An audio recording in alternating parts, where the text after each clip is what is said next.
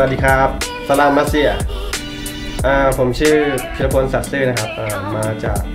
ประเทศไทยครับ ก็วันที่มาที่นี่ก็ประทับใจมากครับเมืองมาลังเป็นเมืองที่สวยครับ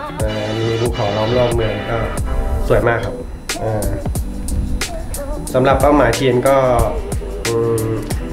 อยากจะทำผลงานให้ดีที่สุดครับก็ตอบแทนให้